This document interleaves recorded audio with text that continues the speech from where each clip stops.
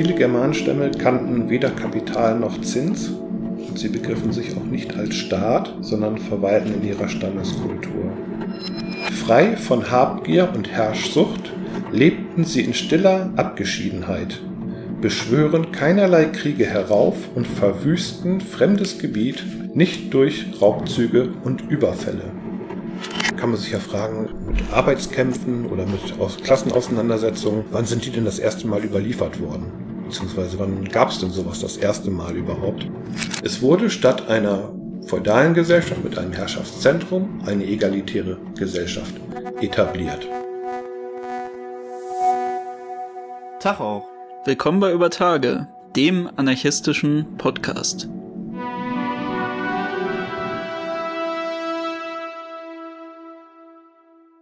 Heute in der 66. Folge in unserem zweiten Teil zu unserer großen Reise durch die Freiheitsgeschichte von Europa und ein Stück weit darüber hinaus sprechen wir erneut mit Helge Döring und dieses Mal gehen wir weiter in die sehr frühe Zeit der Menschheitsgeschichte hinein und in unsere Geschichte der Freiheit. Ist ja natürlich etwas weird, weil wir quasi haben die, nehmen die Folgen ja hintereinander direkt auf. Deswegen haben wir einfach nur so einen Cut gemacht und mit Outro und Intro und jetzt sprechen wir einfach da weiter, wo wir gerade aufgehört haben und für euch ist es eine Woche später.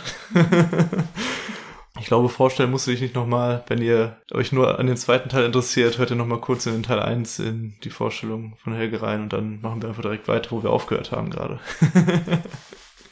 gut, ja, vielen Dank, dass ich wieder hier sein kann nach einer Woche. Finde ich gut. wir haben aufgehört bei den deutschen Bauernkriegen 1525. Wir waren so ein bisschen bei der Reformation, die haben wir mitbehandelt. Ich bleib bei den Bauern, allerdings gab es da noch keine Reformation. Aber es gab im Gebiet zwischen Bremen und Ostfriesland einen Fluss. Und den gibt es auch heute noch, das ist die Ochtum. Die mündet irgendwann in die Weser. Und die Ochtum, die war im Mittelalter sehr bekannt. Und im Mittelalter gab es auch bekannte Städte, die heute niemand mehr kennt. Zum Beispiel Hoja da gab es nämlich überall Burgen. Diese Burgen, das waren Befestigungen der damaligen Herrschenden, des Klerus und des Adels, die damit die ländliche Bevölkerung unter Kontrolle bekommen wollen. Das heißt, ein Burgenbau war immer ein Signal an die Landbevölkerung, ihr werdet überwacht, ihr werdet kontrolliert, könnt ihr nicht machen, was ihr wollt. Ihr untersteht einer Zentralgewalt.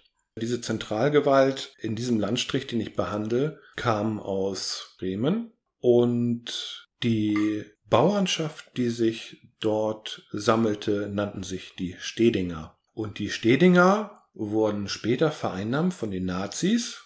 Das seien ja stramme Germanen gewesen und die haben für die Befreiung der Bevölkerung gekämpft und äh, wurden glorreich geehrt und Nazi-Schriftsteller schrieben Dramen und Stücke über die heldenhaften Stedinger. Nun war es aber so, dass die Stedinger überhaupt gar nicht reinrassig waren, also jedenfalls nicht deutsch sondern die wurden dort angesiedelt, um das Land urbar zu machen. Und das waren äh, vor allem Holländer. Die fanden sich in diesem Stedinger Gebiet ein und dieser Fluss, die Ochtum, war damals zwar noch nichts begradigt, das heißt, in der Nähe von Flüssen entstanden Landschaften, die wirklich sehr sumpfig waren, die stark bewaldet waren und die für schwere Panzertruppen schwer passierbar waren. Das spielt dann später noch eine Rolle. Dadurch, dass die Stedinger das Land urbar machten, waren sie weitgehend von Abgaben den Fürsten gegenüber befreit. Und die Stedinger wurden von den Zentralgewalten auch lange Zeit relativ in Ruhe gelassen und konnten sich dann als Stedinger Bauernrepublik äh, etablieren. Sie entwickelten auch ein eigenes Selbstverständnis. Sie verstanden sich auch als eigenständiges Gemeinwesen mit eigener Außenpolitik gingen bestimmte Bündnisse ein, auch mit zentralen Mächten durchaus und versuchten immer die zentralen Mächte gegeneinander auszuspielen, auf dass sie, wie gesagt, wenn zwei sich streiten, freut sich immer der Dritte. Das waren in dem Fall dann oft die Stedinger. ähm, die gingen auch so weit, dass sie dem äh, damaligen Kaiser auch Leute zur Verfügung für, äh, stellten für Kreuzzüge. Ja, wir sehen schon, es war nicht immer alles fein. Also der Vortrag heißt Europareise durch die Freiheit und ich versuche immer, das, den emanzipatorischen Gehalt irgendwo noch rauszuziehen. und, aber je weiter wir in die Vergangenheit kommen, desto schwieriger wird das. Und zwar einmal, weil sich die Moralvorstellungen etwas geändert haben. Zum Zweiten, weil gar nicht mehr so viel überliefert ist, je weiter wir in die Vergangenheit tauchen. Irgendwann ist das Ganze nur noch eine Angelegenheit von Archäologen. Dann gibt es auch gar keine oder wenige äh, Schriftstücke, die uns darüber Auskunft liefern. Spannend ist, dass sich eben die Stedinger ähnlich auch wie die Friesen oder die Rüstringer Richtung äh, Nordsee relativ lange behaupten konnten und eine, ja, eine eigene Republik im Prinzip etablierten. Als das Land dann urbar war und als sich Fürsten, Kaiser und Papst weniger in der Wolle hatten, wurde das Gebiet dann auch interessanter zur Ausbeutung. Also sprich, es sollten dort Zustände geschaffen werden, wie sie woanders auch vorherrschten, also das Lehenswesen und die Abgaben und so weiter. Die Steniger beschlossen irgendwann, dass sie gar keine Abgaben mehr machen und dass sie stattdessen ihr Territorium zu einer Art Festung ausbauten. Die Festung sah, wie gesagt, nicht so aus, dass sie selber Burgen bauten, sondern dass sie geschickt die landschaftlichen Voraussetzungen nutzten, weil sie sehr, selber eher leicht bewaffnet waren, konnten sie sich sehr gut durch Sumpf und Moor bewegen, im Gegensatz äh, zu Kreuzfahrerheeren oder auch zur Ritterschaft. Die Zentralgewalten versuchten dann auch seit den 1220er Jahren in das Stedigerngebiet einzudringen, wurden aber jedes Mal abgewehrt äh, militärisch. Sie versuchten auch über Stellen zu kommen, die allerdings von den Stedigern bewacht worden sind. Und die Stedinger mussten sehr, sehr wachsam sein. Die schwer bepanzerten Truppen äh, sind im Morast stecken geblieben, eingesunken, wurden vernichtend geschlagen. Schließlich wurde ein Kreuzzug gegen die Stedinger bewilligt. Also das soll was heißen. Also es war jetzt nicht so, dass die Kreuzzüge immer nur Richtung Jerusalem gingen, sondern die wurden auch innenpolitisch eingesetzt. Na krass. Äh, und so ein Kreuzfahrerheer, das ist dann ist kampferprobt. Das hat wirklich modernste Waffen gehabt damals. Und das waren auch ein paar tausend Leute, die letztlich dem Stedinger Heer numerisch auch überlegen waren. Nun waren die Stedinger auch nicht gerade die, die, die zart beseitigsten. Das Hauptproblem des Kreuzfahrerheeres war tatsächlich die Ochtum, die zu überqueren. Heute sagt man, okay, wir machen so einen Brückenkopf, ist ja alles befestigt und dann, ne? Aber damals in Sumpf und Moor, wo man überhaupt nicht weiß, wo fließt die eigentlich genau, weil es überall Bachläufe gibt und alles ist äh, sumpfig und so weiter, da hatten sie enorme Probleme damit. Sie haben dann versucht, ein Boot anzusetzen, haben dann ein zweites Boot versucht dahinter zu setzen und so weiter. Naja, wenn sie von den Stedingern dabei erwischt worden sind, war es das mit dem Versuch der Übersetzung, aber irgendwann haben die Stedinger anscheinend nicht genug aufgepasst und es gelang dem Kreuzfahrer her, mehrere Boote pontonmäßig quasi über die Ochtum zu setzen, dann den, einen Brückenkopf auf Stedinger Seite zu etablieren, sich dort festzusetzen und die nachfolgenden Truppen über die Ochtum zu buxieren. Genau das hatte dann fatale Folgen für die Steninger, die dann in der letzten Schlacht, in der Schlacht von Alten-Esch, Alten-Esch ist ein kleines Dorf zwischen Lemwerder und Bremen-Woltmarshausen. Dort wurden sie dann vernichtend geschlagen. Da steht heute noch ein Denkmal für die Stedinger. Und es ist, also je weiter wir in die Vergangenheit kommen, desto mehr wird die Geschichte auch vom Feind geschrieben. Ne, von 1936 in der Spanischen Revolution hat jeder was dazu schreiben können und das können wir heute nachlesen. Bei den Bauernkriegen war es, wie gesagt, da können wir auch was bei Thomas Münzer nachlesen, müssen wir nicht alles über Luther nachlesen und haben dafür, dafür dann auch ein ausgewogenes Bild ungefähr von den Kämpfen. Bei den Stedingern wird es dann ganz schwierig, weil da hat niemand wirklich lesen und schreiben können und die Geschichte wurde dann eben von, von der Priesterschaft geschrieben.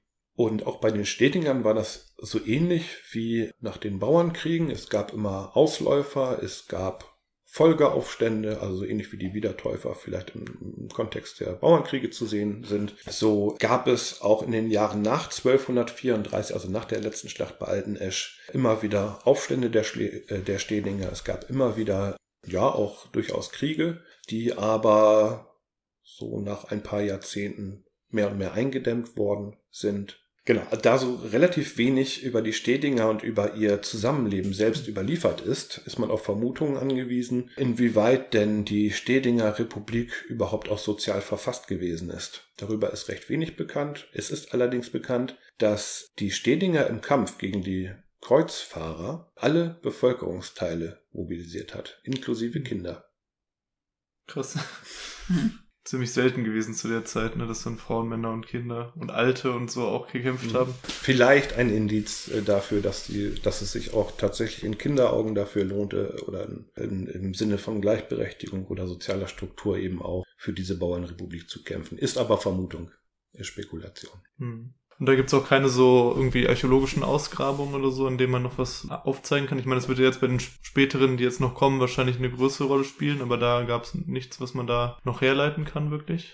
habe ich in der Sekundärliteratur so ja. nicht gefunden oder ist mir nicht mehr in Erinnerung. ist eine Weile her, ja. wo ich mich damit befasst habe.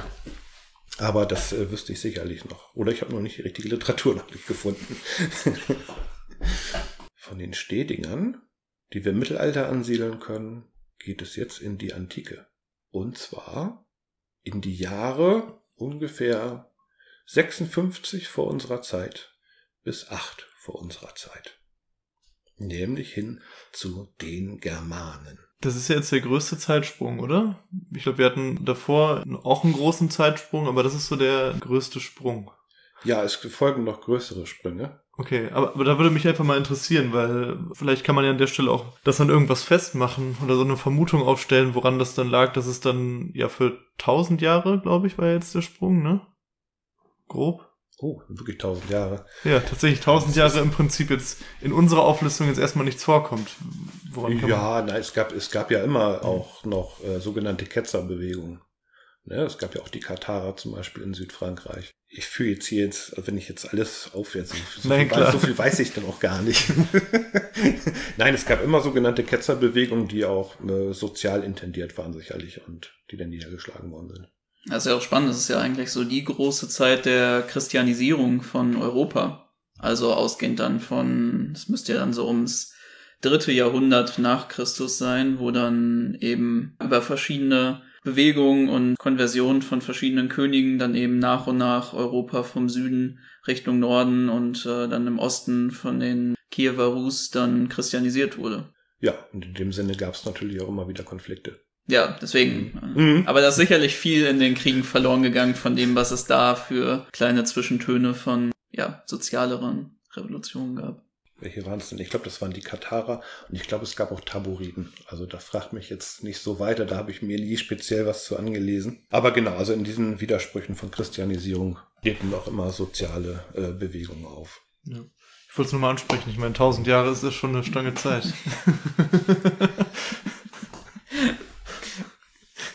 Für die tausend Jahre gibt es wahrscheinlich eine geringere Quellenlage als äh, für einen modernen Krieg. Ja, ja, klar. Na klar. Ja, wir sind nun mal in der Verlegenheit, dass wir so ein bisschen überspringen, denn, ne? Also die Germanen. Die Germanen, ja, die Germanen, die gab es denn so nicht.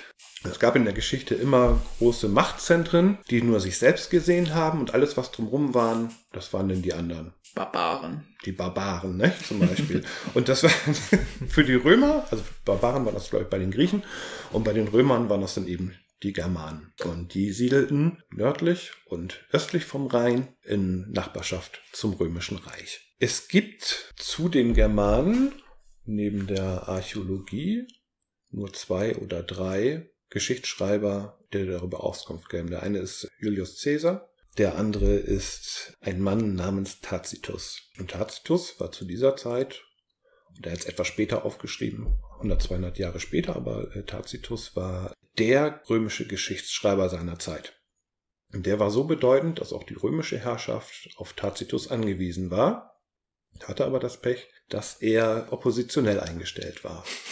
Das hat manchmal zur Folge, dass so Oppositionelle sich mit, also nicht direkt mit dem Feind des Feindes verbünden, aber äh, es hatte zur Folge, dass Tacitus äh, sehr wohlwollend über die Germanen berichtete. Es wird vermutet, dass er selber die Ländereien dort gar nicht besuchte, sondern äh, seine Erzählung eher speiste aus äh, Berichten und Erzählungen, die über die Grenze getragen worden sind. Und er fasste äh, seine Berichte zusammen in einer Schrift namens Germania. Er berichtet dort über verschiedene Germanenstämme, was wir schon sagten, es gibt denn eben nicht die Germanen, sondern was die vielleicht einte, waren die Stammesgesellschaften, was sie vielleicht auch einte, war ein Kult um das Zentrum, um den sogenannten Tink. Und Tink war Marktplatz und war auch Platz für die Volksversammlung. Ansonsten waren die Germanen relativ unterschiedlich. Es gab sehr kriegerische Germanenstämme, es gab relativ asoziale Germanenstämme. Es gab aber auch Stämme, von denen Soziales überliefert ist und vor allem auch Soziales in ihrer politischen Verfassung,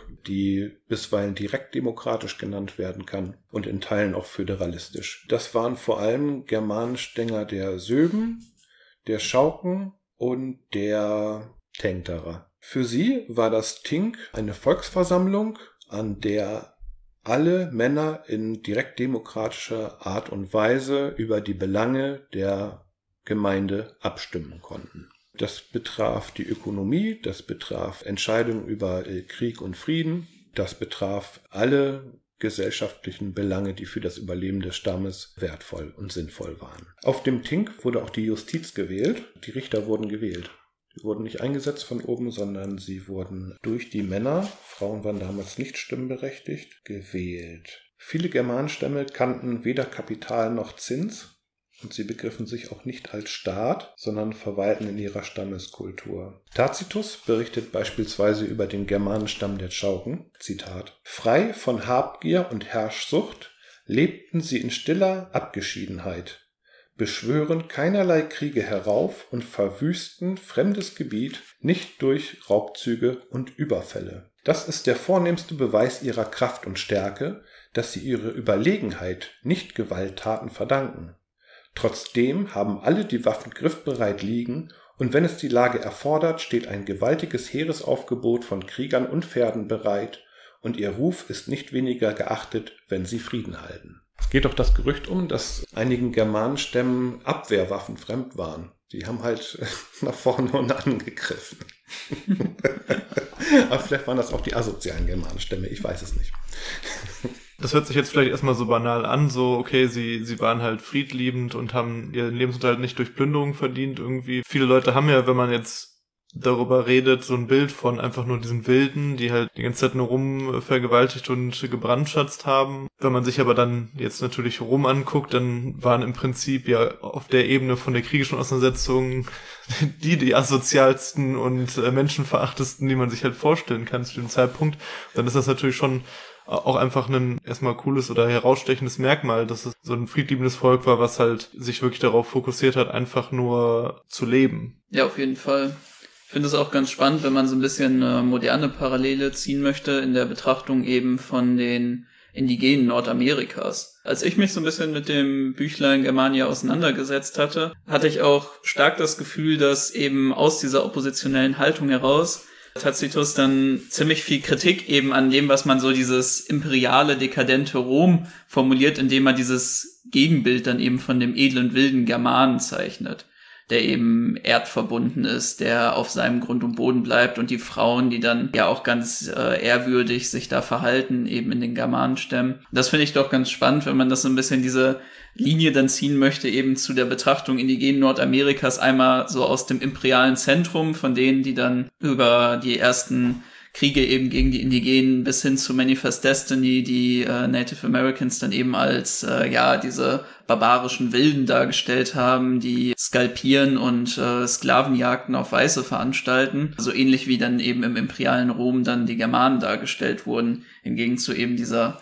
Gegendarstellung. Wobei natürlich dann da auch, du hast es gerade so ein bisschen mit dem friedliebenden Volk angesprochen und du hast es ja auch so ein bisschen gesagt, dass es nicht größtenteils war, dann sowohl diese Idealisierung kommen kann, wie es dann auch bei den mhm. Indigenen war. Das ist irgendwie diese einheitliche Kultur und da gibt es dann keine Widersprüche zwischen den unterschiedlichen Stämmen. Das ist natürlich vielfältiger, aber trotzdem ziemlich spannend, sich dann auch mal mit diesem ganz lokalen Phänomen hier auseinanderzusetzen, entgegen auch zu dem, wie wir es häufig dann gelehrt werden, eben in der Geschichte mit vor allem diesen römischen Quellen was wir für die Revolution schon angesprochen haben, auch innerhalb einer revolutionären Bewegung gibt es immer verschiedene Strömungen und Ansichten, bestimmte Fraktionen, die sich herausbilden. So gibt es natürlich auch in bestimmten Gebieten. Also der Nachbar vom Nachbar muss ja nicht sein Freund sein oder zusammenhalten. Die können sich auch die Köpfe einhauen. Mhm. Das weiß man nicht. Und, ne?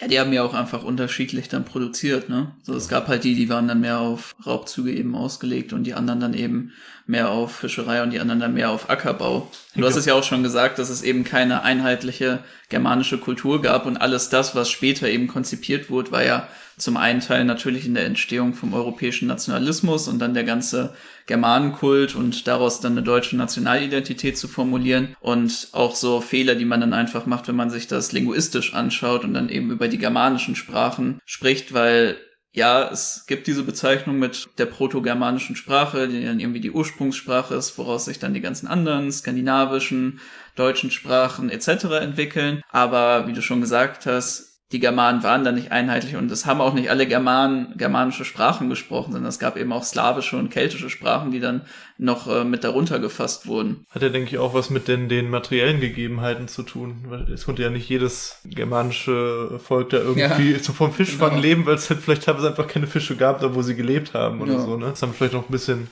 noch nicht erwähnt, dass die materiellen Gegebenheiten haben wir ja damals wie heute, spielen ja eine, eine, grundlegende Rolle. Vielleicht wurde auch teilweise aus Notwendigkeit geplündert oder so. Wenn es vielleicht zum Beispiel gerade eine Dürreperiode gab oder solche Geschichten. Ich weiß nicht, ob das, das ist jetzt eher so eine Mutmaßung von mir ins Blau hinein, ob geht, das auch eine Rolle geht ins, sehr ins Detail, ne? ja. da muss man schon sehr, sehr gründlich studieren. ja, aber ich meine, im Endeffekt hast du natürlich recht, dass Geografie und die Bedingungen zur Produktion, die man dann eben auf dem Grund und Boden vorfindet, natürlich dann auch beeinflussen, wie man produziert und wie man dann auch sein Gesellschaftswesen konzipiert. Ja. Helge schweift ab und liest in seinen Büchern. nee, nee, ich suche hier gerade noch, vielleicht kriegen wir aber ich meine, eine spannende Sache, die man ja wirklich in dem Kontext nochmal besprechen muss, ist, kannst du ja mal jetzt eine historische Einordnung geben von der Schlacht, in der der gute Arminius dann gekämpft hat, die, erste nochmal, Varusschlacht. Die Varusschlacht, ja, war die neun nach Christus, glaube ich, ne? Mhm. Was hatte das für eine Bedeutung für den Widerstand der Germanen gegen das Römische Reich? Naja, das soll ja angeblich gar nicht da stattgefunden haben. Also Was haben wir? Teutoburger Wald, den oder? Letzten, den Letz-, die letzte Schlacht immer mal woanders hin, weil, weil sie noch irgendeine Glasscherbe oder Tonscherbe oder sonst wo gefunden haben, die auf Rom hinweisen. Naja, für die einfache Orientierung, für die zeitliche Orientierung ist es ja oft gut, wenn man so ein zentrales Ereignis hat. Allerdings ist ein Großreich auch immer irgendwo porös. Also es ist durchlässig im ökonomischen Sinne zum Beispiel, dass obwohl ein eiserner Vorhang da als Handel betrieben wird, dann gibt es äh, verschiedene oder gab es verschiedene Heiratspolitiken über die Ländergrenzen hinweg und so weiter. Das heißt, ein Reich bricht nicht einfach so zusammen, sondern es ist vorher porös. Es wird von innen ausgehöhlt und der letzte Tropfen ist dann die entscheidende Schlacht. Insofern würde ich das eher immer als Prozess begreifen und weniger jetzt die Varusschlacht jetzt ganz nach oben stellen. Also im Speziellen weiß ich auch zu wenig drüber. Hättest du auch einfach so sagen. Wir hatten ja gerade das äh, germanische Gebiet ein bisschen erkundigt. Jetzt springen wir einmal rüber über den Rhein, gehen nach Italien. Und zwar in die Jahre 73 bis 71 vor unserer Zeit. Das ist jetzt vielleicht noch ein Kapitel, was gut bekannt sein könnte, weil man den zentralen Namen später nochmal gehört hat oder den schönen Film gesehen hat mit Kirk Douglas. Ende der 50er Jahre, wo er den Spartacus spielte. Und Spartacus war eine Person, die später von kommunistischen Bewegungen für Namensgebung gut gebraucht werden konnte. Das römische Reich befand sich zu dieser Zeit nicht auf dem Höhepunkt seiner Macht, aber es war deutlich ausgedehnt, es hatte eine moderne Armee es erstreckte seinen Einzugsbereich äh, im Mittelmeerraum und verlegte irgendwann äh, so viele Truppen in die besetzten Gebiete, dass innenpolitisch diese Armeen nicht mehr zur Stabilisierung beitragen konnten. Teile des Römischen Reichs waren aufgrund der Staatsmacht dekadent geworden. Sie vergnügten sich mit Spielen, mit, äh, mit dem Kolosseum, mit, mit Gladiatorenkämpfen es gab vor Spartacus immer schon vereinzelt Sklavenaufstände, vor allem in Sizilien. Nur kam es im Jahre 73 vor unserer Zeit unter Führung des Gladiatoren Spartacus zum sogenannten Spartakusaufstand muss sich das so vorstellen, diese Form von Sklaven waren die Elitekämpfer. Es waren Kämpfer, die geschult waren in den Kämpfen um Leben und Tod und zwar nicht an der Front, sondern im Nahkampf. Es war im Prinzip eine Art Infanterie, die daran gewohnt war, Auge in Auge zu siegen und Waffen zu erobern. Wenn diese Elite es schafft, auszubrechen aus ihrer Knechtschaft lokal, davonzieht und weitere Elitekämpfer befreit aus den Gefängnissen, und aus dem Joch entsteht allmählich eine große Sklavenarmee. Diese Sklavenarmee wird, wenn sie weitere Regionen erobert, begleitet von unterdrückter einheimischer Bevölkerung. Das heißt, sie stellt irgendwann eine Mischarmee dar, die auch verschiedene Interessen entwickelt. Aber geeint durch eine charismatische Persönlichkeit wie Spartacus schlagkräftig bleibt. Sie ist irgendwann so schlagkräftig, dass das römische Reich Legionen von den Außengrenzen abzieht, um gegen das Spartakusheer zu kämpfen. Diese Legionen wurden nach und nach niedergeschlagen, wohlgemerkt moderne Armeen. Die äh, Spartakus-Leute bedienten sich auch der List und der Tücke, ähnlich wie die Machnur-Armee später in den frühen 1920er Jahren, um auch gegen besser ausgerüstete Legionen die Oberhand zu behalten und schließlich auch deren Waffen zu erbeuten. Das heißt, also militärisch qualitativ nimmt die Spartakus-Bewegung Fahrt auf. Sie zieht durch halb Italien. Sie entwickelt verschiedene Interessen. Sie spaltet sich aufgrund verschiedener Interessen. Es gibt auch neben der Spartakus-Bewegung gleichzeitig andere Sklavenaufstände. Alle anderen Sklavenheeren außer Spartacus waren bestrebt, neue Führung herauszubilden, neue Herrschaft herauszubilden, und die Sklavenführer wollten sich benehmen wie die römischen Kaiser. Spartacus nicht. Spartacus sorgte dafür, dass in seinem Sklavenheer eine Gleichverteilung stattfand, dass alle Kämpfenden gleich waren. Plünderungen waren verboten. Er achtete besonders darauf, dass äh, sein Sklavenzug einen extremen sozialen Charakter aufwies und war darauf ausgerichtet, auch weitere Gebiete von Sklaven zu befreien. Es muss, es ist alles nicht so weit überliefert, extreme Meinungsverschiedenheiten gegeben haben, weshalb der Zug dieses Spartakus-Heeres, das mittlerweile auf viele Zehntausend Leute angewachsen war, quer durch Italien so einen Zickzackkurs gegangen ist. Das heißt, es schien Entscheidungen gegeben zu haben, die dann wieder revidiert wurden. Dann wurde die Richtung gewechselt. Es muss auch zur Entscheidung gekommen sein, schließlich, ob Rom eingenommen wird. Also das Sklavenheer unter Spartacus war so stark, sie hätten Rom erobern können. Daran sind sich auch Althistoriker einig. Sie sind Rom umgangen. Einige wollten über die Alpen, dann sind sie wieder zurückgegangen. Von Spartacus selber ist überliefert, äh, dass er letztendlich an die Adria wollte, an die Küste, dort Piraten anheuern wollte, die seine Truppen nach Sizilien bringen, um dort wieder die Aufstände zu entfachen. Andere aus dem Spartakusheer wollten einfach nur nach Hause, Richtung Griechenland. Das Spartakusheer konnte immer wieder römische Legionen abwehren und auch vernichtend schlagen. An einer Stelle kam es dann aber dazu, dass unter, die, unter der Führung von Crassus das Spartakusheer geschlagen werden konnte nämlich in dem Moment, wo sie übersetzen wollten mit Hilfe der Piraten und die Piraten kamen nicht. Entweder es war ihnen egal, sie sind vorher schon bezahlt worden, also für das Übersetzen der Leute, oder sie sind halt bestochen worden von Crassus. Beides ist möglich, es ist nicht überliefert.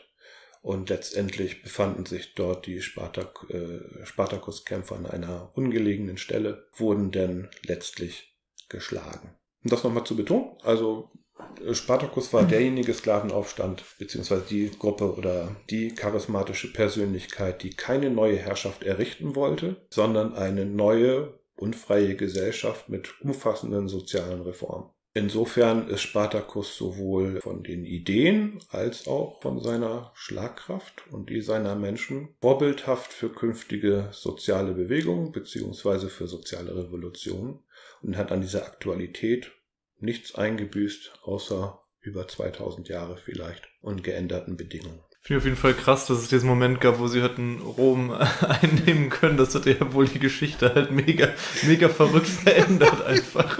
Wie so ein Sklavenheer.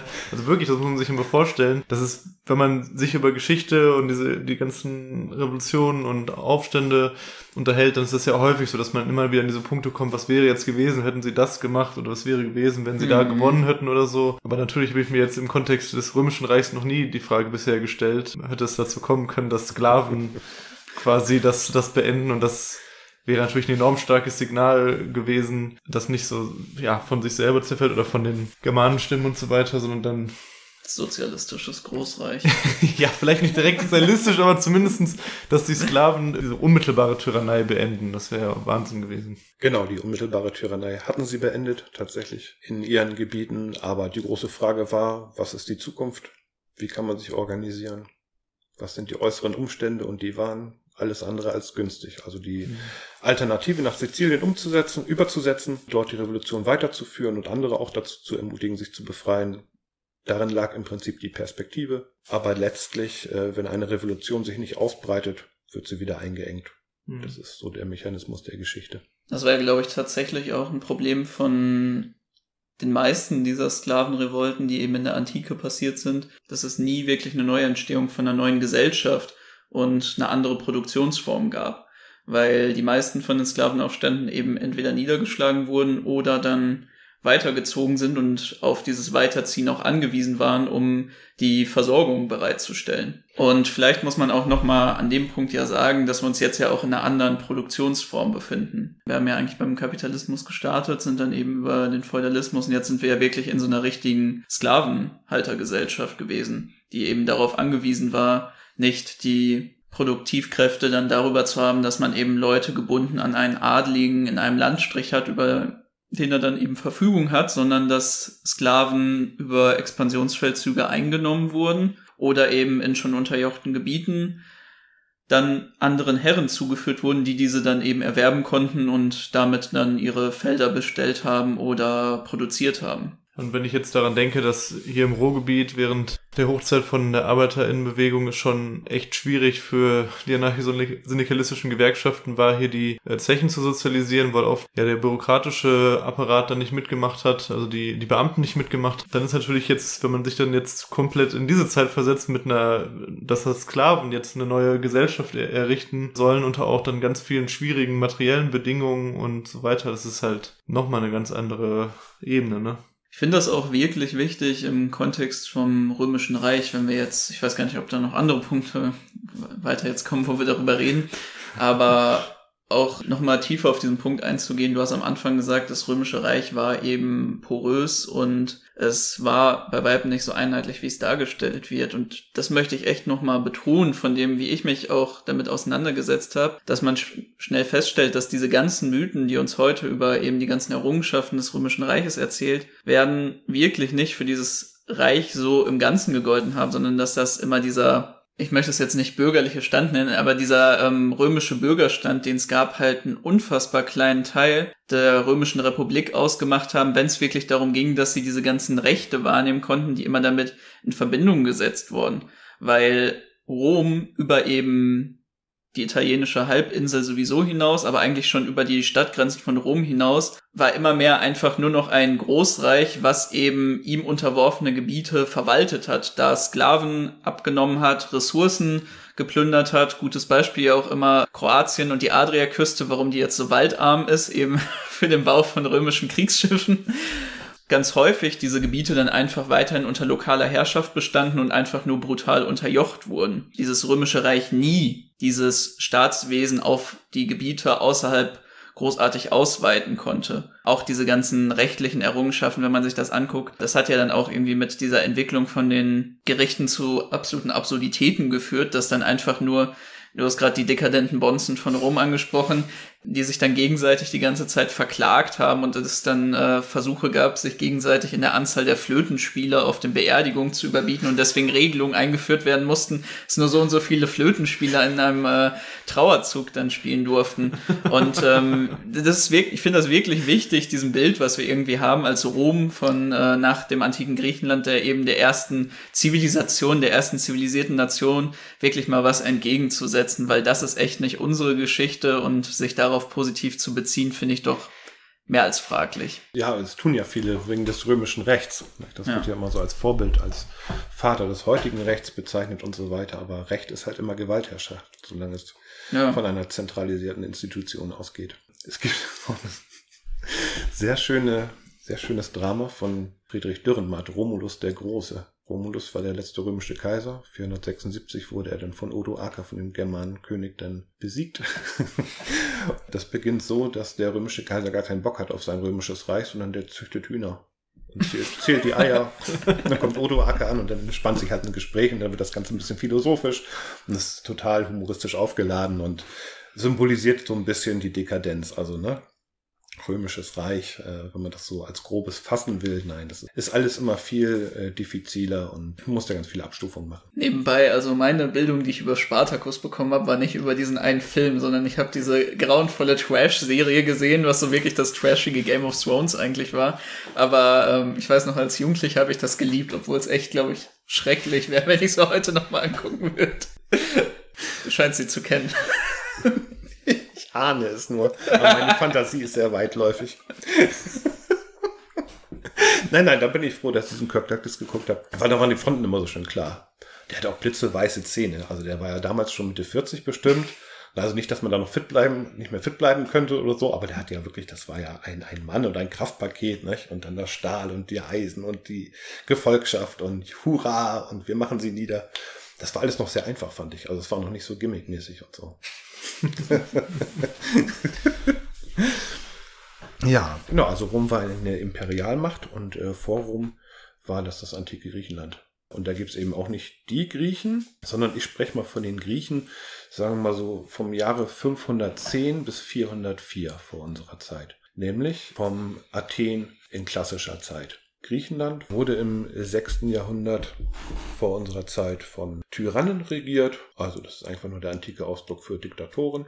Es wurden auch schon viele Kriege geführt, vor allem gegen das Perserreich oder auch mal umgekehrt. Es wurden in der Landwirtschaft ja nicht nur die Menschen ausgebeutet, sondern es wurden in den Kriegen auch die Soldaten verheizt, die davon eigentlich gar nichts hatten. Wie wir bei Spartacus ja schon angeführt hatten, waren die Kampfesweisen damals sehr archaisch. Da gab es ja fast nur Infanterie, vielleicht ein bisschen, ein bisschen Marine und äh, Reiter gab es schon so ein bisschen. Und in Indien, in fernen Indien, gab es Kampfelefanten. Aber eigentlich äh, musste ein Mann seine Waffe führen können. In Griechenland taten das äh, die Soldaten vor allem auf den Schiffen, weil das antike Griechenland war immer eine Seemacht. Diese Schiffe und die Soldaten, die zogen irgendwann von Sieg zu Sieg und besiegten auch die Perser. Also das Persische Reich war damals eine, eine riesige Weltmacht und Athen war eigentlich unterlegen. Aber in zwei zentralen Schlachten wurde das Perserreich dann besiegt. War das so, dass die Soldaten dann irgendwann nicht mehr daran dachten, nach Hause zu kommen und äh, unterdrückt zu werden, wenn sie doch die Sieger sind. Und dann haben sie die Verhältnisse so ein bisschen umgekehrt. Das heißt, äh, die Tyrannen wurden verjagt, gewaltsam verjagt und es wurde, es bildete sich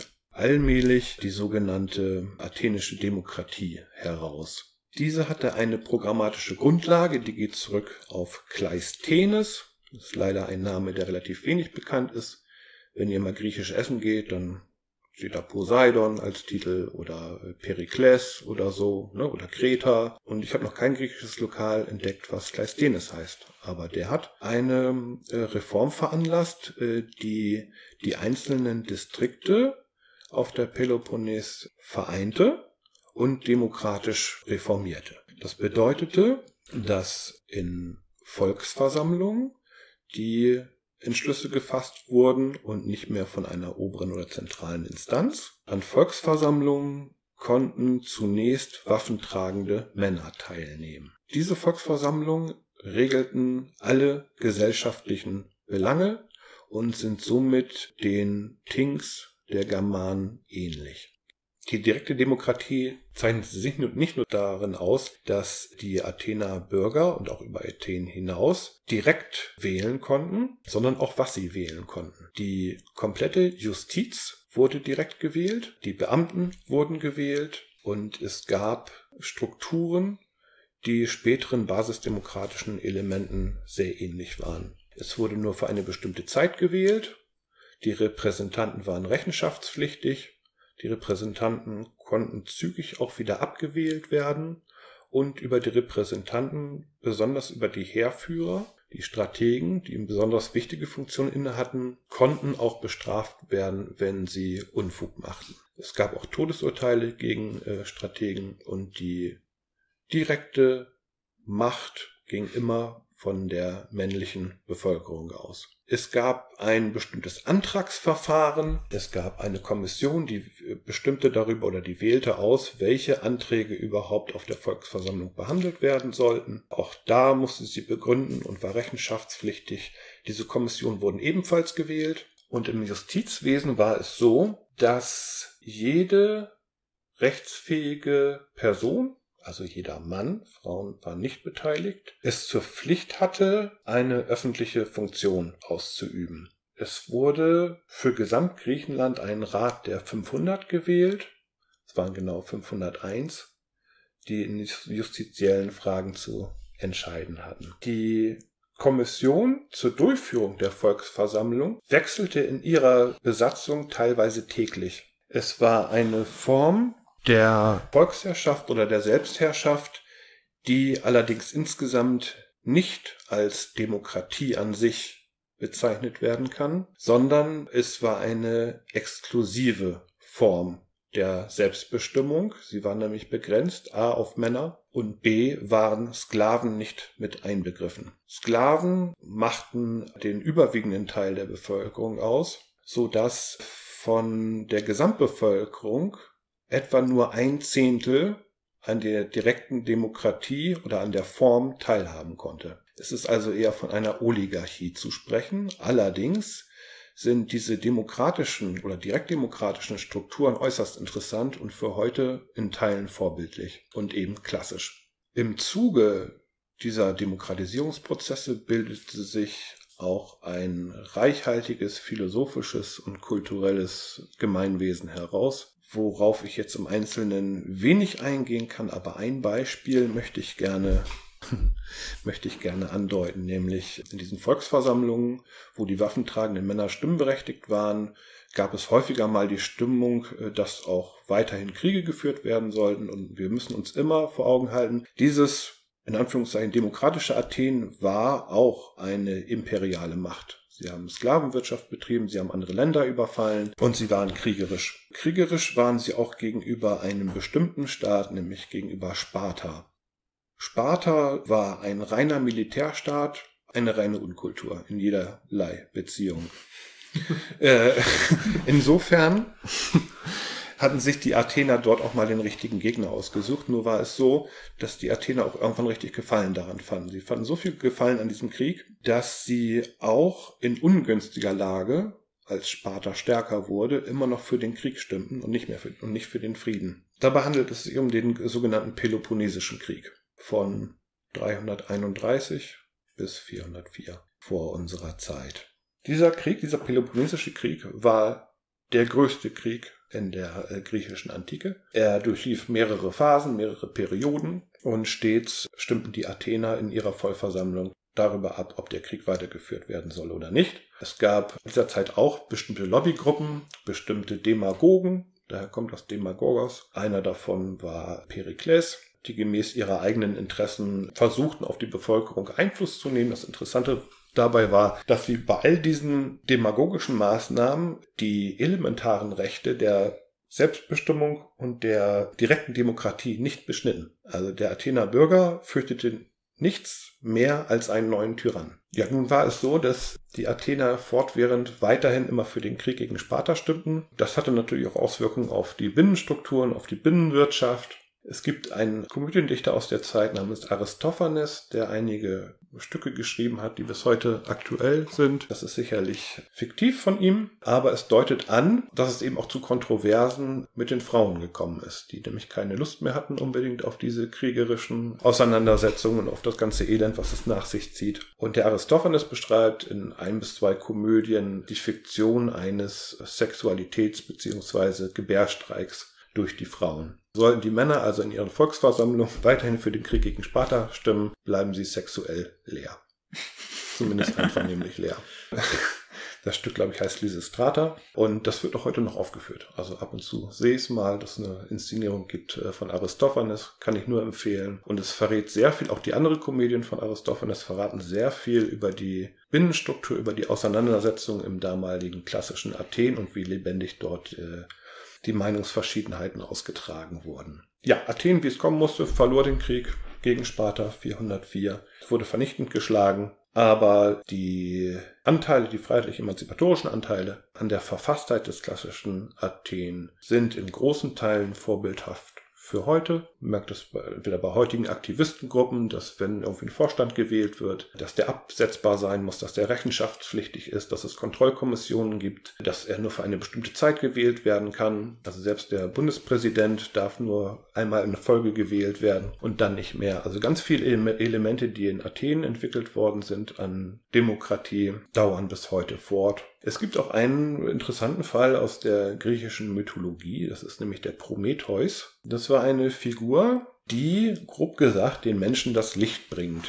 Also wenn wir jetzt von, vom Mittelalter, von diesen Verhältnissen gesprochen haben, äh, in den vorhergehenden Stationen, dann brachte die Kirche ganz viel Dunkelheit über die Menschen, sie brachte den Menschen den Aberglauben, sie hielt sie im Prinzip dumm und in der griechischen Mythologie brachte der Prometheus mit einer Fackel der Menschheit das Licht und fiel dadurch ja bei den Göttern auch in Ungnade. Über äh, Prometheus ist eben auch eine Figur, die klassisch ist und die immer wieder aufgegriffen worden ist, unter anderem auch von Goethe in einem, in einem Gedicht. Der junge Goethe war ja auch antiklerikal eingestellt. Wenn ihr mal Amsterdam besucht, dann ist am Nassauplein ein Denkmal aufgestellt, nämlich für Ferdinand Domela Nieuwenhuis. Das war einer der bekanntesten europäischen Anarchisten des 19. Jahrhunderts. Und der war ehemaliger protestantischer Priester, hat sich dann von der Kirche abgewandt, ist Anarchist geworden und war einer der, oder ist einer der fundiertesten äh, Kirchenkritiker, weil er jede Bibelstelle kennt. und diese Tradition war, ist in den Niederlanden bis heute ganz gut erhalten. Also der, der Nievenhus hat ein eigenes Museum in Herenveen und in Amsterdam am Nassauplein hat er ein Denkmal bekommen. Dieses Denkmal ist eingeweiht worden Anfang der 30er Jahre, Anfang der 1930er Jahre. Unter anderem haben da auch viele anarchistische äh, Delegationen dran teilgenommen. Das war ein Riesenfestakt. Rudolf Rocker sollte dort auch sprechen. Die haben den äh, Nievenhus immer so ein bisschen so äußerlich als Heiligen dargestellt, so wie Jesus, der übers Wasser gehen kann, wie auch immer. Und auf dem Denkmal, da steht er dann allerdings äh, in Gestalt und so mit, mit erhobener Faust. Also steht auch auf einem Sockel, der Nievenhus. Und der Sockel, der ist von unten betrachtet fast so hoch wie der Nievenhus selbst. Und auf dem Sockel ist Prometheus abgebildet mit Fackeln.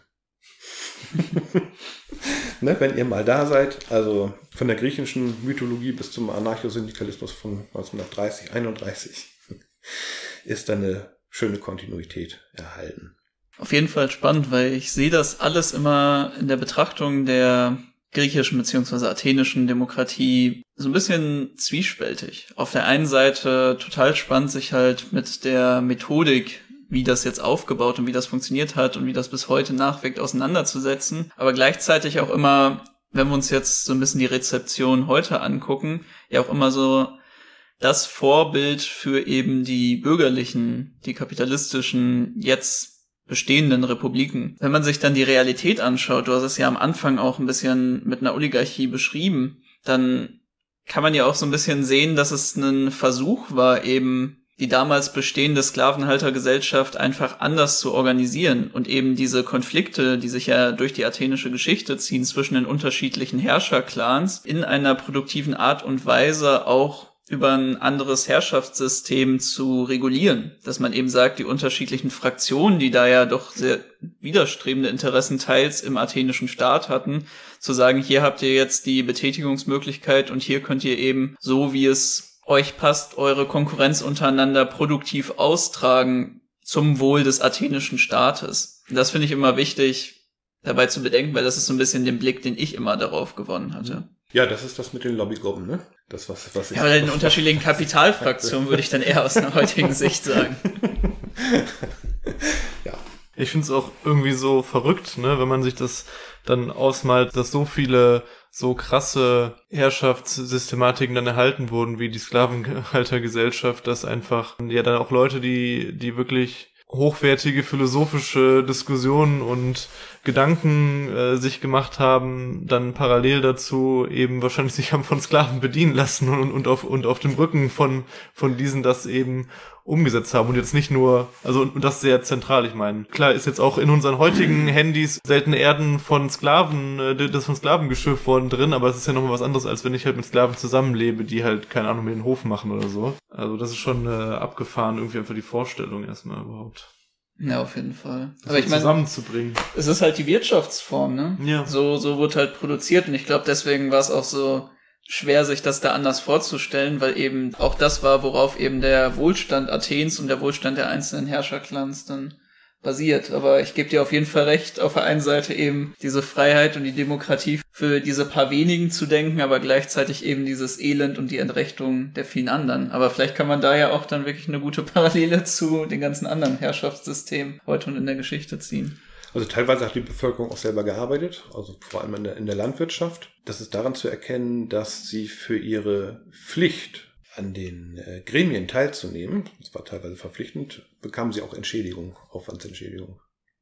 damit sie eben dort frei teilnehmen können, ohne Einbußen. Ist ja auch noch insofern spannend, dass es ja, glaube ich, so von dieser Konstellation her und auch wie lange das dann angedauert hat, ja auch sehr einmalig ist, ne? Also diese, diese Kombination dann auch von diesen eigentlich sehr, vor allen Dingen für die Zeit, man muss das ja auch wirklich in den zeitlichen Kontext setzen, zu diesem sehr, sehr, sehr frühen Zeitpunkt der Menschheitsgeschichte, diesen fortschrittlichen Elementen und gleichzeitig diesen super reaktionären Elementen, das ist auch, denke ich, das macht's ja auch, und das macht ja auch aus, dass es so kontrovers auch bis heute diskutiert wird, denke ich, ne? Ja, also bisher sehen wir, dass erst mit der Pariser Kommune auch Frauen stimmberechtigt waren, ja. mitentscheiden konnten. Und das muss man wirklich einfach Klar, es ist auch irgendwo ein, immer, immer dieses Standardargument, ja, ne, man muss das immer in den Kontext der Zeit einbetten, aber es ist ja einfach so. Ja, noch eine Anekdote, die ich immer zur griechischen Demokratie ganz spannend fand, war nämlich aus Platons Politär, wo Platon ja anhand von eben dem, was Sokrates so gesagt hat, eine andere Gesellschaftsform konzipiert, nämlich diese Republik, die dann von einem Philosophenkönig regiert wird. Darin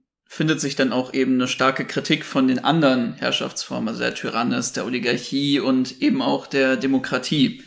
Denn auch wenn man sicherlich häufig das alles irgendwie zusammendenkt und in einen Topf wirft, war es ja so, dass auch viele Philosophen damals große Feinde der Demokratie waren, unter anderem eben auch Sokrates und Platon. Ein Aspekt, den man, glaube ich, sehr selten mit der Demokratie in Athen zusammendenkt, der aber in dem Text dann auch darin vorkommt, ist nämlich die Tierbefreiung. Also scheinbar waren die athenischen Demokraten Antispezizist in, in der besten Manier.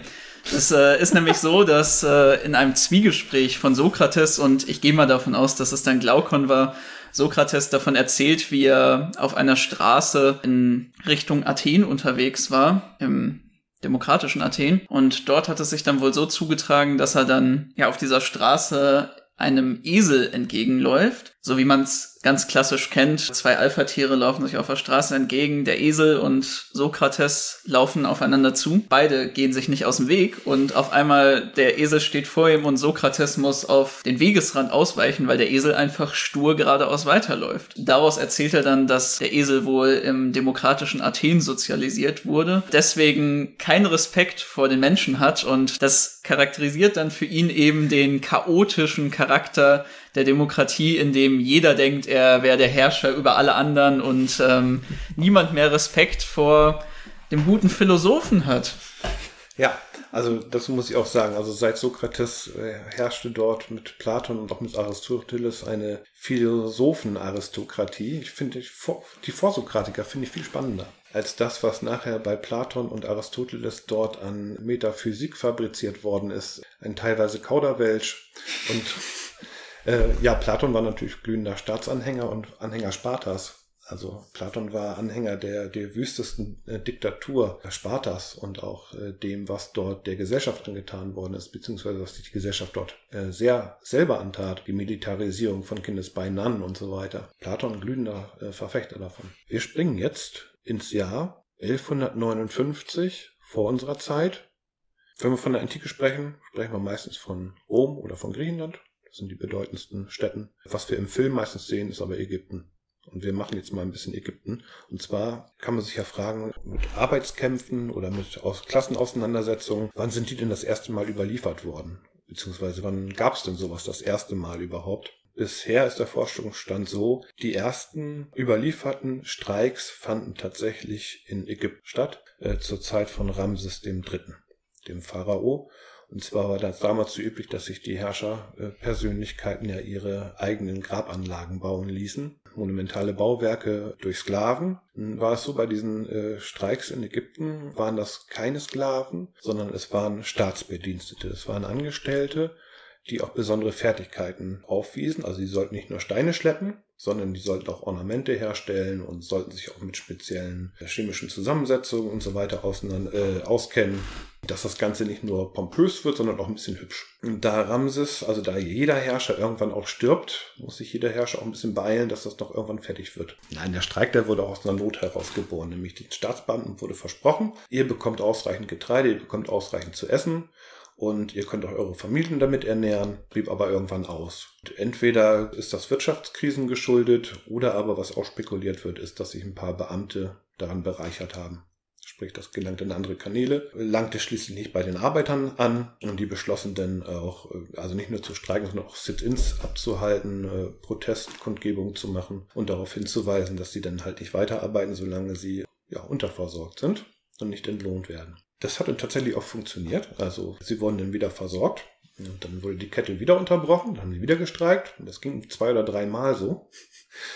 Ja, vor allem im Jahre 1159. Aber ging es eine Zeit lang wieder gut. Und bis 1156 gab es dann immer wieder Streiks. Das sind die ältesten Streiks oder die ältesten überlieferten Streiks der Weltgeschichte. In Ägypten, bei Theben war das. Cool. Spannend. Noch nie was von gehört. Ja, jetzt kommt der letzte Punkt. Zum letzten Punkt, der ist, jetzt müssen wir echt rechnen, nicht? Also von 1156 Ägypten die Streiks bis ins Jahr 7300 vor unserer Zeit, sind ein paar tausend Jahre. Wir verlassen damit auch die Antike und gehen in die Frühgeschichte. Genauer gesagt in die Jungsteinzeit. In den 1950er Jahren fand ein britischer Archäologe in Anatolien eine Hügellandschaft vor. Die kam ihm verdächtig vor. Er kehrte dann um und untersuchte die, fing ein Forschungsprojekt an, um dort zu graben. Da dieser Hügel an einer Weggabelung lag, bekam sie den Namen, also übersetzt Chatal Hüyük. Das wird manchmal auch anders ausgesprochen oder geschrieben. Und er fing dann an, mit seinem Forschungsteam zu graben. Das war dann auch gestattet. Also Briten waren damals auch mitführende Archäologen. Also in der Archäologie ist das so, wenn man was ausgräbt, dann entdeckt man vielleicht unter der ersten Schicht, die man ausgegraben hat, noch eine weitere Schicht mit interessanten Utensilien. Manchmal sind das ganze Städte. Der Archäologe grub dann letztlich über zehn Schichten von Städten aus. Jede Stadt konnte er miteinander vergleichen. Also eine Stadt ist eingefallen und dann wurde neue errichtet. Damals war das auch alles nicht so haltbar. Es gab zwar schon Lehm, aber so die modernen äh, Hausbautechniken wie heute waren ja damals nicht gegeben. Das heißt, in über zehn Schichten konnte er die Veränderung dieser einen Stadt beobachten und dokumentieren. Er ist, hat natürlich die oberen Schichten zuerst abgetragen.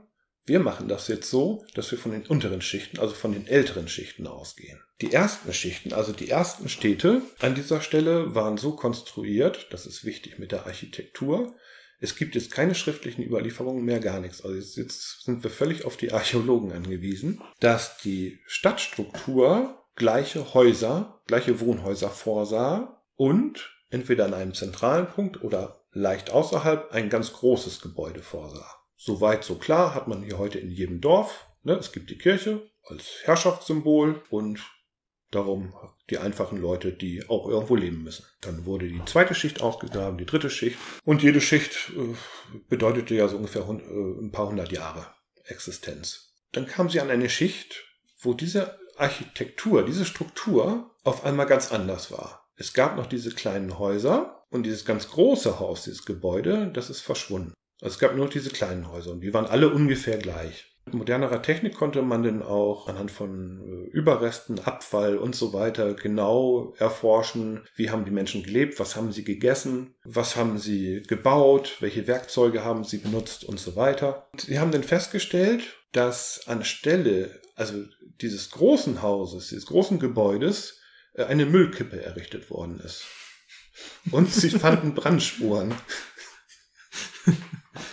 Selbst konservativere Historiker oder Archäologen können nicht um die Tatsache herum festzustellen, es hat dort eine recht schnelle äh, soziale Revolution stattgefunden. Es wurde statt einer feudalen Gesellschaft mit einem Herrschaftszentrum eine egalitäre Gesellschaft etabliert. Diese Gesellschaft blieb dann sehr lange bestehen, nämlich mindestens von 7300 vor Christus, vor unserer Zeit meine ich natürlich, bis 6100. Also eine, darauf komme ich noch, freie, selbstverwaltete, egalitäre, urkommunistische Gemeinde, die mindestens 1200 Jahre bestand. Es gab neben dieser Ortschaft Châtelhüg noch andere Ortschaften, die woanders entdeckt worden sind, wo ähnliches stattgefunden hat. Châtelhüg hatte zur Zeit der größten Bevölkerungsausdehnung etwa 10.000 Einwohner. Und die Häuser waren so angeordnet, dass es im Prinzip keine Straßen gab, sondern die Häuser wurden gebaut und es gab keine Türen, sondern es gab Leitern. Darüber konnte man auf die Dächer gelangen und über die Dächer von den Dächern dann in die Wohnung. Die Bewohnerinnen und Bewohner von Châtel-Hüg haben alle Produktionen, alle Verteilungen und alle Versammlungen und alle Festlichkeiten auf diesen Dächern begangen. Das bot zum Beispiel Schutz vor wilden Tieren. Die kamen da nicht hoch. Das beinhaltete, dass die Bewohner ein sehr solidarisches Gemeinwesen entfalten mussten. Die mussten sich sehr gut kennen, die mussten sich sehr gut verstehen, so ähnlich wie in einer engen WG vielleicht. Wenn du dich mit jemandem nicht verträgst, dann klappt das nicht in engen Räumlichkeiten. Sie wirtschafteten gemeinsam, sie halfen sich untereinander aus. Habe ich jetzt die Architektur beleuchtet, so gibt es noch zwei weitere Faktoren. Das eine sind die Grabbeigaben. Es gab damals auch eine Art ja, Totenehrung. Die wurden aber relativ privat beerdigt und zwar in einer Extrakammer im Boden der jeweiligen Wohnhäuser. Also wie das hygienisch geschafft haben, weiß ich jetzt nicht mehr. Aber so wurde das gemacht. Also die Toten, die wurden beerdigt und ihnen wurden Grabbeigaben beigelegt. Das ist allerdings nicht so, wie wir das aus späteren Actionfilmen oder sonst was kennen oder von Inkas Mayas oder so, sondern sie wurden tatsächlich mit ihren Alltagsgegenständen bedacht. Also war jemand äh, gut in der Produktion. Von diesem und jenem wurden ihnen da die entsprechenden Handwerksutensilien beigelegt. War jemand irgendwie gut in Textilien, wurde das beigelegt. Hatte jemand irgendwie ein Hobby, wurde das beigelegt. Das war einfach menschlich und natürlich. Es gab da keine Zentralinstanz, die irgendwie moralisch gesagt hat, ihr müsst aber das und das, sondern es war zutiefst menschlich. Diese Grabbeigaben waren fast geschlechterlos. Also bei beerdigten Frauen konnte man zum Teil auch Jagdwaffen finden, Handwerkszeug. Bei Männern konnte man auch Art Schmuck finden. Es gab in diesen Gräbern anscheinend keine Geschlechter. Es gab auch fast keine geschlechtsspezifische Arbeitsteilung. Das hatten Forscher herausgefunden anhand der Knochen und anhand der Knochenabnutzung. Bestimmte Tätigkeiten verlangen, dass man kniet. Dass man stundenlang am Tag kniet.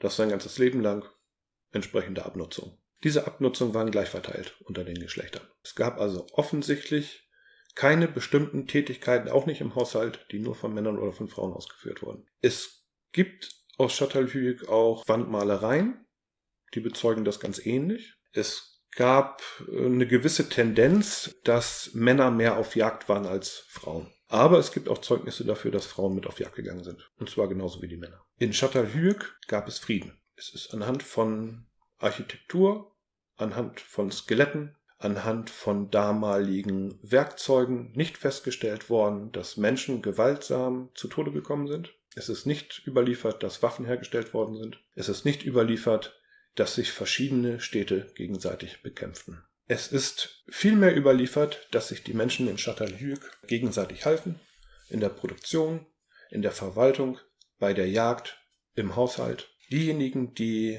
die Skelette untersuchten, stellten auch fest, dass bei einer erheblichen Einwohnerschaft die Knochen der Gliedmaßen stark verbogen waren, wie es unnatürlich ist. In Kombination mit anderen Feststellungen und Funden ergab sich, dass diese Verformung dieser Knochen daraus herrührten, dass sehr viel getanzt und gefeiert worden ist. Es müssen wahre Orgien stattgefunden haben.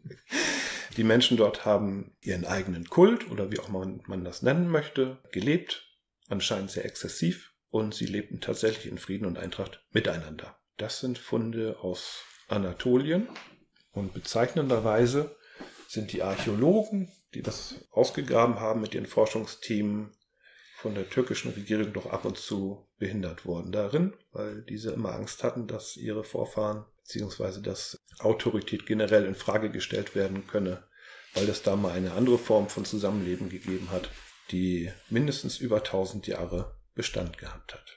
Ja, ich kannte tatsächlich auch diese Ausgrabung schon und ich fand das halt auch mega faszinierend, als ich darauf gestoßen bin. Und für mich ist es halt tatsächlich einfach der Beweis, dass ein herrschaftsfreies Leben möglich ist. Weil selbst wenn man natürlich nicht alles weiß äh, und, und nicht alles komplett klar nachzeichnen kann, aber so wie, wie ich das in Erinnerung habe von der Beschäftigung der Archäologinnen da, die waren halt auch selber einfach, haben immer gesucht nach verschiedenen Merkmalen, was sie halt sonst so kennen aus Ausgrabungen, haben immer gesucht nach verschiedenen ja, Herrschaftssymbolen letztendlich, was man halt eben so kennt und waren halt einfach nur verwirrt darüber, dass sie das nicht gefunden haben und haben halt auch, glaube ich, ziemlich lange gebraucht, um das dann halt zu akzeptieren, so. Mhm. Das spricht einfach alles dafür, dass das halt wirklich dann auch der Beweis ist und das finde ich halt einfach großartig, dass es diese Überlieferung gibt, dass es also einfach zeigt, okay, Menschen haben halt vor so vielen Jahrtausenden in einem Kommunismus letztendlich gelebt, in der wirklich einer großen Anzahl von Menschen. 10.000 Menschen war zu der Zeit ja eine wahnsinnige Größeneinheit.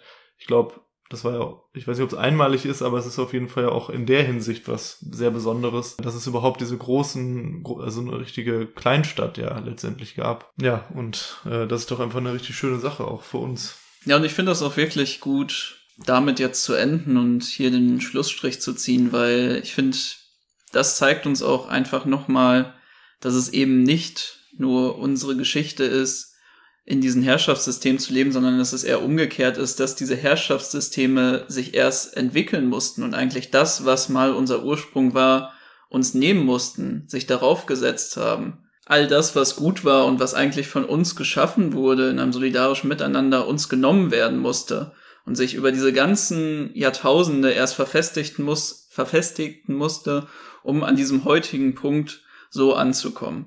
Da ist es doch wirklich gut, mal einfach so einen langen Blick auch zurückzuwagen, um zu sehen, dass auch das, was uns eigentlich am Anfang da gegeben war, was wir selber geschaffen haben, nämlich dieses freie und solidarische Miteinander, trotzdem sich noch überlebt hat und sich auch durch die europäische, die ja wie wenige andere Geschichten so sehr von Herrschaft, Expansion und Imperialismus geprägt war, sich eigentlich von Anfang bis Ende immer noch durchgezogen hat und ja auch mit dem, was wir heute erleben, in Rojava, aber auch mit dem, was wir hier lokal erleben, was im Endeffekt auch wir drei hier gerade versuchen zu machen, sich trotzdem noch in unserer DNA eigentlich erhalten hat und sich bis heute durchzieht. Und auch, dass es eben selbst in den dunkelsten Zeiten der Geschichte, äh, selbst wenn mal ein paar hundert Jahre oder tausend Jahre von Überlieferung dann auch fehlen, aber selbst in diesen Zeiten wird es eben auch Widerstand gegeben haben, wird es also auch Menschen versucht haben, die aus diesen herrschaftsförmigen Systemen, die ihnen aufgezwungen wurden, versucht haben auszubrechen. Und das ist doch auch schön, dass man, ohne das jetzt komplett zu ideologisieren, was dann auch so lange vorher gewesen ist,